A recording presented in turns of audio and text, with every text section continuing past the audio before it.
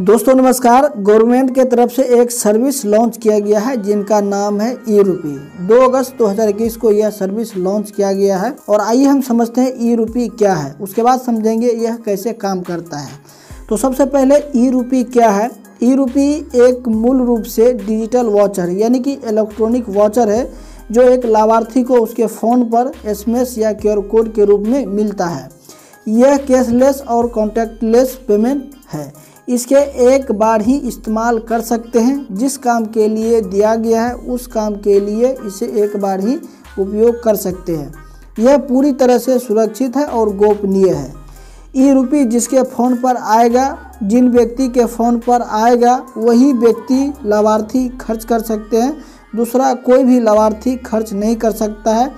Payment करने के इस नए सिस्टम में लाभार्थी को इंटरनेट की सुविधा के बिना भी पेमेंट यानी पैसा ट्रांसफ़र हो सकेंगे। बैंक अकाउंट की ज़रूरत नहीं पड़ेगी। लेकिन जिस व्यक्ति के पास आप एसएमएस या क्यूआर कोड लेकर जाएँगे, उस व्यक्ति के पास इंटरनेट की सुविधा होना अनिवार्य है।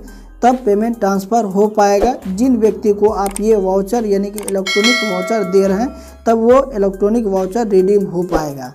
तो चलिए अब हम समझते हैं ई रूपी कैसे काम करता है। उदाहरण के लिए यदि सरकार अपने किसी कर्मचारी का किसी खास अस्पताल में विशेष इलाज का खर्च उठाना चाहती है तो वह निर्धारित एक पार्टनर बैंक के ज़रिए निर्धारित राशि के लिए ई रूपी का वाउचर जारी कर सकेंगे। जैसे कि मान के चलिए सरकार आपको एक हज़ार रुपया दिया और बुक लेने के लिए एक उदाहरण के तौर पे हम समझते हैं तो यह सरकार आपको डायरेक्ट एक हज़ार रुपया दे दे या एक हज़ार रुपया आपको एक हज़ार का बुक दे दे।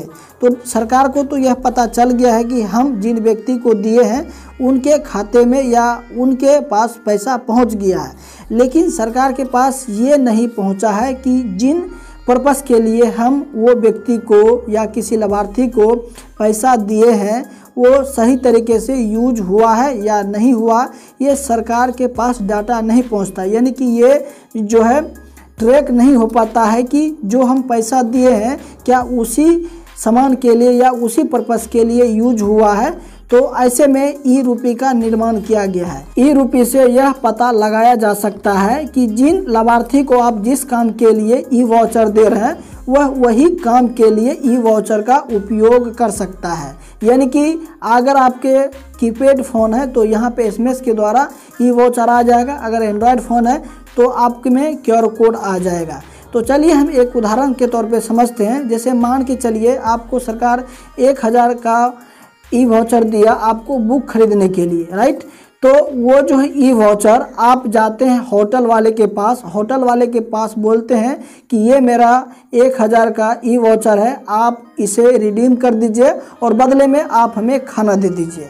तो जैसे ही आप ई वाचर वहाँ पे दिखाएँगे या स्कैन करवाएँगे और वो जो है स्कैन करने वाला जो भी होटल का व्यक्ति होगा, जैसे ही आपका क्यूआर कोड स्कैन करेगा या ई वाचर वहाँ पे टाइप करके रिडीम करेगा तो वहाँ पे नोट एक्सेप्ट बता देगा क्योंकि सरकार ने वह एक हज़ार का जो ई वाउचर है या एक हज़ार का जो क्यूआर कोड है, वह आपको जो है बुक के लिए दिया गया है, ना कि होटल में खाने के लिए दिया गया। तो जितने भी आपके बुक सेंटर हैं, जितने भी बुक सेंटर है तो उन्हीं के पास ये जो है वोचर रिडीम हो पाएगा। तो इससे यह पता चलता है कि ई रुपये से कि जो सरकार पर्पस के लिए पैसा दे रही है अपने जनता को, उसी पर्पस के लिए ये पैसा यूज़ हो रही है। जो हम पैसा दिए हैं, वो जहाँ पे हम भेजे हैं खर्च करने के लिए, वहीं पे खर्च हुआ है। यानी कि अगर हम इस वोचर को होटल के लिए जारी किए तो वो व्यक्ति होटल में ही जा सकता है। अगर ई वोचर हम यहाँ पे खाद लेने के लिए जारी किए हैं तो ये फर्टिलाइज़र खाद ही लेगा। अगर ई वोचर हम जारी किए हैं वैक्सीनेशन लेने के लिए तो वो व्यक्ति ई जो वोचर यूज़ करेगा वैक्सीनेशन लेने के लिए ही यूज़ करेगा। यानी कि सरकार को यह तो अब पता चल जाएगा कि जिस काम के लिए हम दिए हैं, उसी काम में यह वोचर उपयोग हो रहा है, ये रुपया उपयोग हो रहा है। तो यह पैसा आपको हाथ में नहीं मिलेगा, ये एक वोचर में रहता है, जिसको एक कोड कहा जाता है, इस कोड में आपका पेमेंट रहेगा। समझते हैं कि वाउचर कौन इशू करेगा, यानी कि कौन बनाएगा ये वाउचर तो ई रूपी को जो है एमपीसीआई ने, यानी कि National Payment Corporation of India के प्लेटफॉर्म के ज़रिए चलाया जाएगा। जितने भी आप पेमेंट कर रहे हैं, सब इन्हीं के द्वारा चलाया जाता है एमपीसीआई के द्वारा। इसके लिए एमपीसीआई ने सरकारी बैंक और प्राइवेट बैंक को टाइप किया गया है। अगर किसी को कॉरपोरेट या सरकारी एजेंसी ई रुपी वाचर जारी करने हैं तो उन्हें इन पार्टनर बैंक से संपर्क करना होगा, जो सरकारी भी बैंक है और प्राइवेट भी बैंक है।